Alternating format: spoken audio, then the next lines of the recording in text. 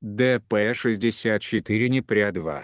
Гранатометный комплекс предназначен для защиты надводных кораблей от атак подводных пловцов на открытых якорных стоянках, внешних рейдах, пунктах базирования, а также для защиты от нападения боевых пловцов морских платформ, гидротехнических сооружений и других важных прибрежных и морских объектов.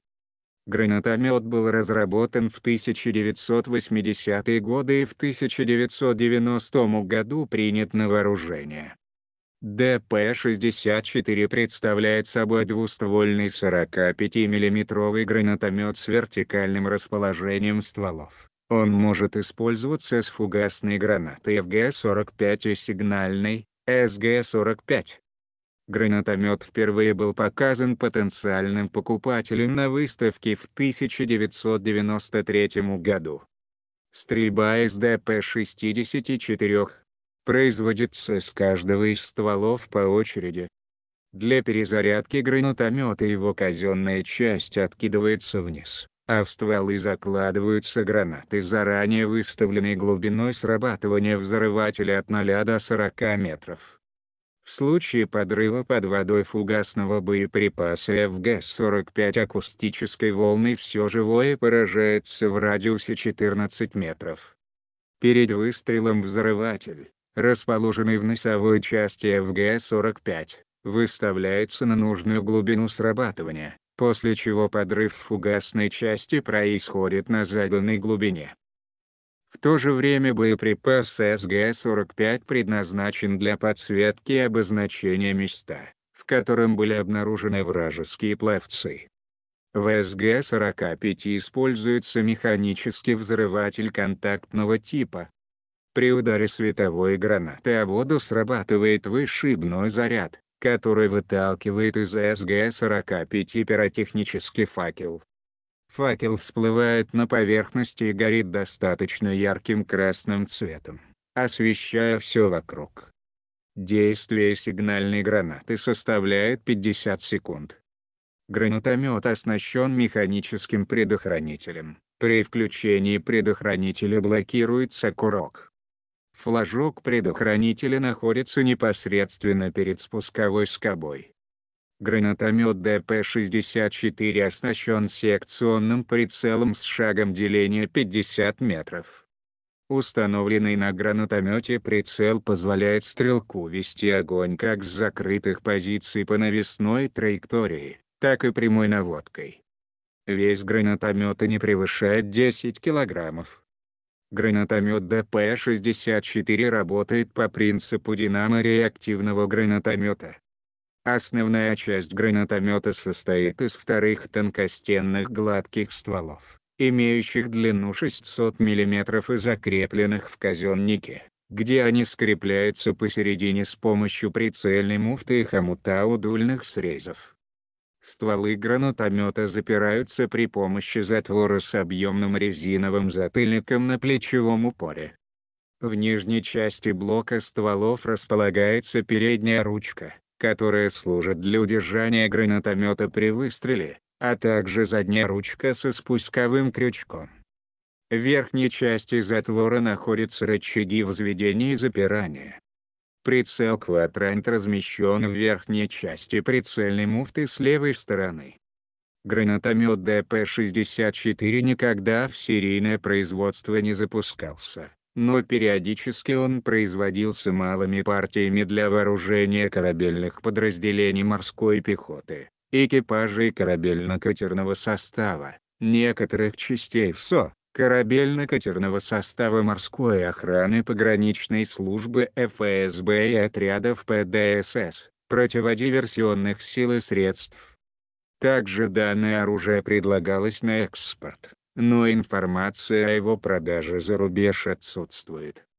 История создания данного гранатомета берет свое начало еще в 1981 году, когда в ЦКИП поступило соответствующее задание на проведение научно-исследовательских работ.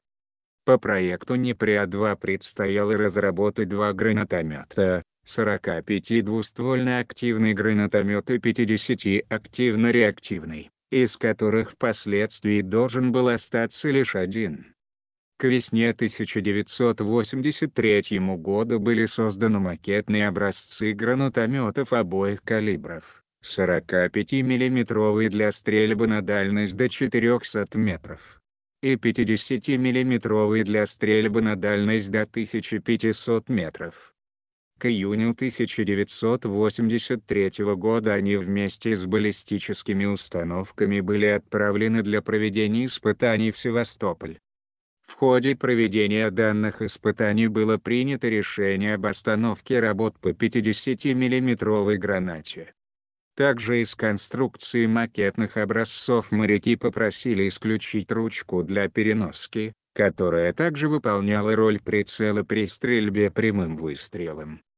Других пожеланий и замечаний у моряков не было.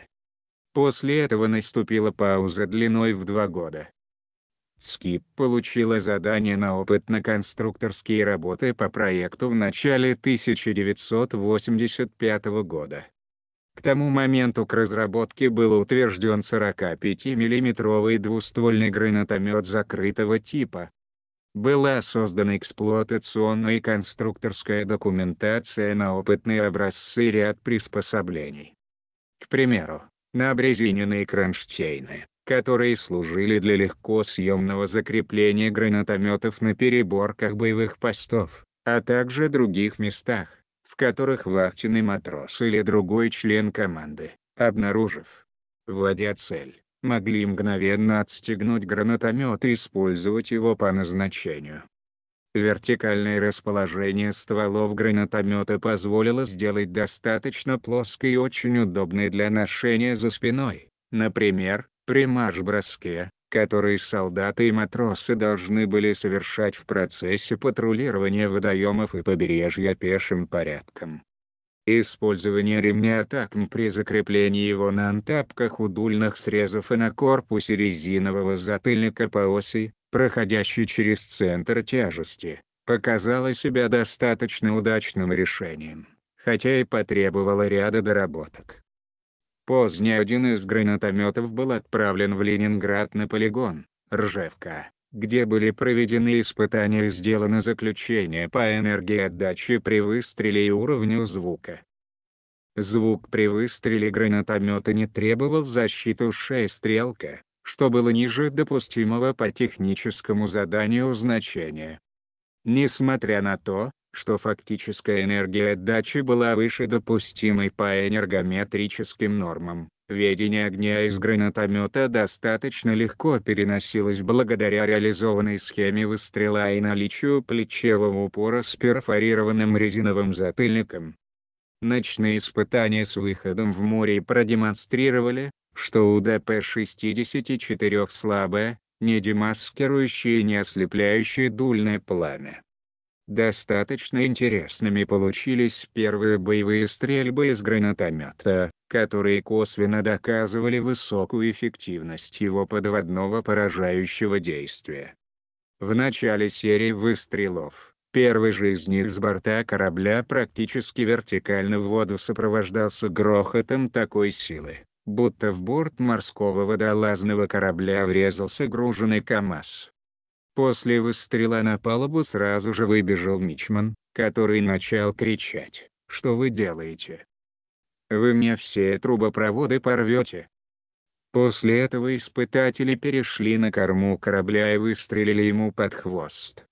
Опять подводный взрыв сопровождался страшным грохотом и появлением на палубе другого мичмана, который кричал «Вы что делаете? Вы мне сальники выбьете!» Принимая все это во внимание, профессия боевого пловца в эти моменты не выглядела чем-то привлекательным. Госиспытания гранатомета были начаты в октябре 1988 года в Севастополе. Испытания сопровождались довольно плохой погодой и были по-настоящему боевыми. После нескольких суток бесплодного ожидания морской водолазный корабль вынужден был уйти на плановый ремонт а испытателям пришлось выходить в море на маленьком плоскодонном опытовом судне. 12 октября, когда начались испытания комплекса в море, волнение моря, по мнению опытных моряков, уже составляла 5 баллов, в то время как неправда могла применяться при волнении моря до 4 баллов. Однако отступать было некуда, и госкомиссия дала добро на начало испытаний. В этот раз огонь из гранатомета вели не различные члены комиссии, а пятеро отобранных краснофлотцев все имеющие среднее техническое образование. Во время проведения инструктажа они все схватывали буквально на лету и лишь в начале, надев на шею ремень с увесистым гранатометом, все таки 10 килограммов, вежливо, но достаточно выразительно покряхтели.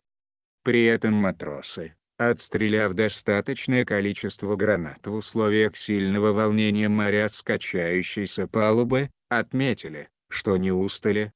Тактика боевого использования гранатомета ДП-64 предполагала в случае атаки со стороны моря заряжание одного из стволов сигнальной гранаты СГ-45, которая использовалась для обозначения места цели на водной поверхности, на которой, как известно, нет ориентиров. Сигнальная граната выстреливалась после получения цели указания о дальности и курсе цели. Граната всплывала на поверхности горящим красным факелом, по которому велась стрельба фугасными боеприпасами ФГ-45. Периодически по цели снова выпускались сигнальные гранаты. Факелы из СГ-45 прекрасно горели даже в условиях шторма.